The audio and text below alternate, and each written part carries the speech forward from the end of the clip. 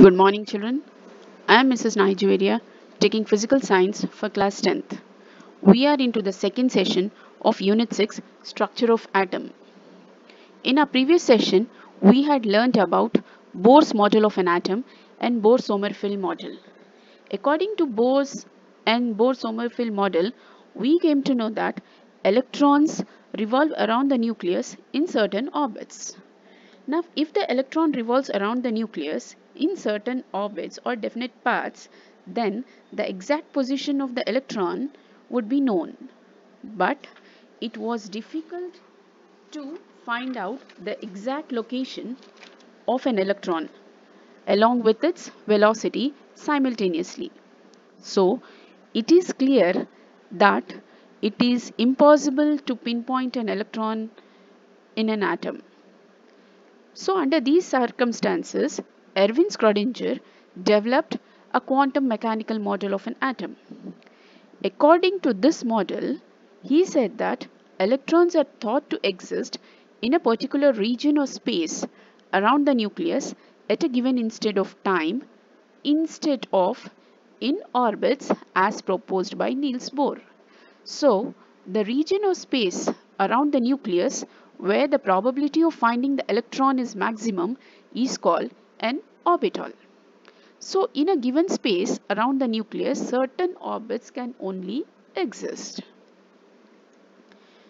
Now coming to quantum numbers. What are quantum numbers? Each electron in an atom is described by a set of three numbers n, l and ml. These numbers are called as quantum numbers. Actually, these quantum numbers indicate the probability of finding the electron in the space around the nucleus. So, these quantum numbers describe the space around the nucleus where the electrons are found and also their energies. The different quantum numbers are principal quantum number, angular momentum quantum number, magnetic quantum number and also the spin quantum number. Principal quantum number is represented by the letter small n. Angular momentum quantum number is represented by the letter L, small l that is. Magnetic quantum number is represented by the letter small m L that is ml.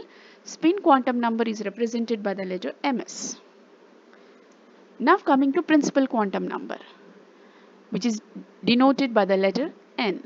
So it is related to the size and energy of the main shell. The main shells are represented by the letters capital L, capital M, capital M, N and so on. For each N value, there is only one main shell. So as the value of N increases, the shells become larger and the electrons in these shells are farther from the nucleus. Like for example children, if you just look at the table, when n value is equal to 1 that is the first shell is represented by the letter capital K and the second shell which is n is equal to 2 is represented by the letter capital L. The third shell that is when n is equal to 3 the shell is represented by the letter capital M and the fourth shell the shell is represented by the letter capital N. So K is the first shell second shell is L, third shell is M and the fourth shell is N and so on. Coming to angular momentum quantum number which is represented by the letter L, small l. Angular momentum quantum number is related to the shape of a particular subshell in the space around the nucleus and it is denoted by the letter small l. As you all know just we had seen that principal quantum number is related to size and energy of the orbital. Now this angular momentum quantum number that is L is related to the shape of the particular subshell. So L angular momentum quantum number has integer values from 0 to n minus 1. The value of L for a particular subshell is generally designated by the letters as S, P, D and F as follows. That is if L has the value of 0 then the subshell is S and if L has the value of 1 the subshell is P. If L has the value 2, subshell will be D and if L has the value 3, the name of the subshell is F.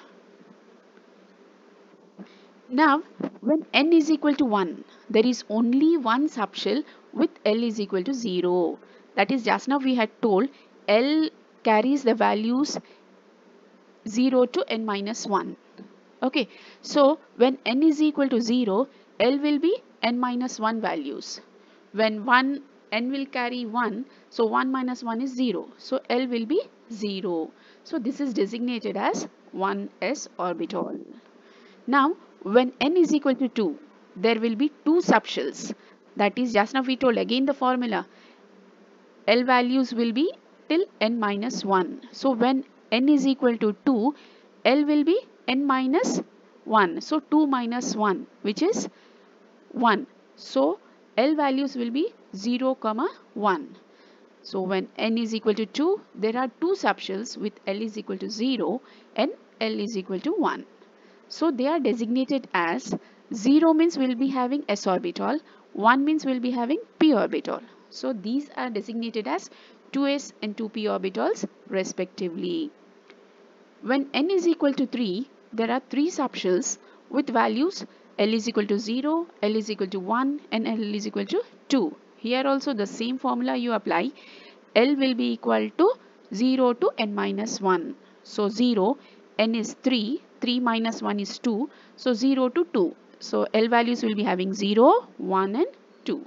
So these are designated as 3s, 3p and 3d orbitals respectively. Now coming to the different shapes of the orbitals. Now we had told that when L is equal to 0, it is an s orbital. So this is an s orbital which is along the axis x, y and z. Now when L is equal to 1, we have got the orbital name as p orbital. So these p orbital can have different orientations. That is along x-axis if it is placed it is called as px. If it is placed along y-axis it is called as py. And if it is placed along z-axis it is known as pz orbital. Now since these belong to the second orbital we have placed them as 2px 2py and 2pz orbital. We do not have any 1p 1 1 px 1 py 1 pz because in the first orbital we have got only s orbital. Now coming to the d orbital. And coming to the shape of the p orbitals children these are dumbbell shaped now coming to the shape of the d orbitals these are double dumbbell shaped orbitals. That is these are also oriented along x-axis y-axis and z-axis. The first one is d yz second one dxy, third one dxz, fourth one dx square minus y square and the fifth one dz square. So we have in all 5 d orbitals, 3 p orbitals and 1 s orbital. And let me tell you one thing children, the accommodation power of each orbital will be having 2 electrons. It can accommodate either 1 electron or 2 electrons but not more than 2 electrons. Coming to the magnetic moment, magnetic quantum number, which is represented by ml. The magnetic quantum number describes the orientation of the orbital in space relative to the other orbitals in the atom. It is denoted by ml. It has integer values between minus L and plus L including 0 where L represents angular momentum quantum number. Thus, for a certain value of L, there are 2l plus 1 integer values of ml.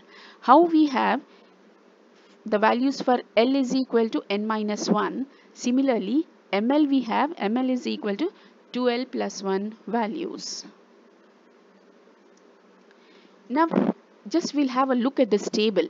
When principal quantum number is 1, L value will be n minus 1 which is 0 and ml also will be 0 and the subshell notation is 1s orbital. And how many orbitals will be there in this particular subshell? Only one orbital. Now coming to when n is equal to 2. We know L values is n minus 1, 0 to n minus 1. So 0 to 2 minus 1. So it will have 0 as well as 1.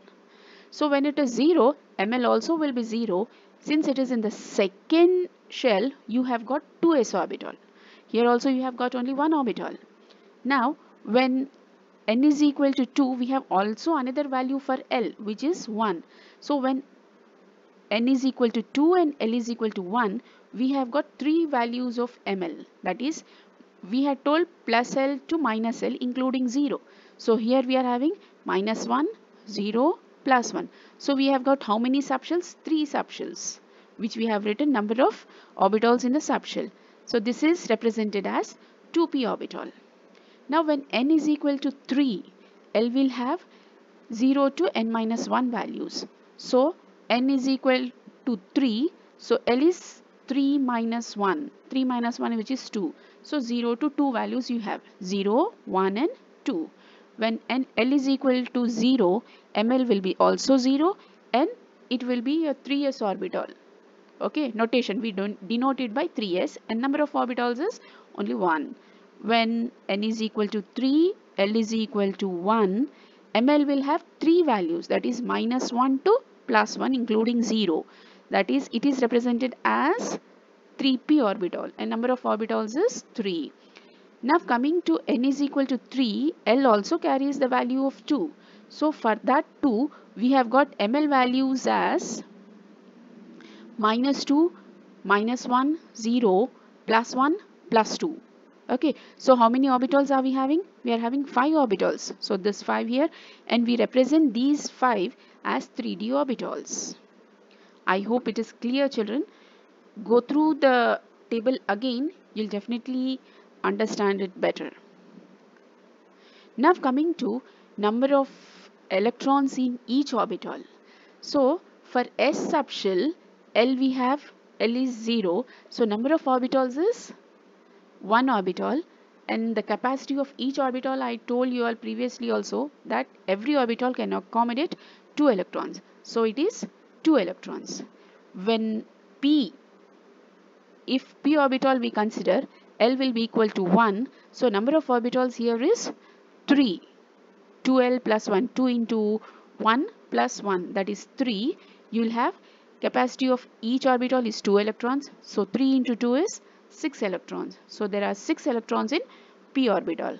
Coming to d orbital. d orbital will be there for value of L is equal to 2. So in that case 2 into L that is 2 into 2 is 4 plus 1 5. So you have a 5 over here. Capacity of each each orbital is 2 electrons. So 5 into 2 is 10 electrons in d orbital. Coming to f orbital, f L value will be 3 and 2 into 3 is 6 plus 1 that is 7 and the number of electrons is 2 in each so 7 into 2 is 14 electrons. Now coming to the assignment, what are quantum numbers? Differentiate the principal quantum number from the angular momentum quantum number. Define an orbital. And what is the maximum number of electrons that can be accommodated in the L shell of an atom? Thank you.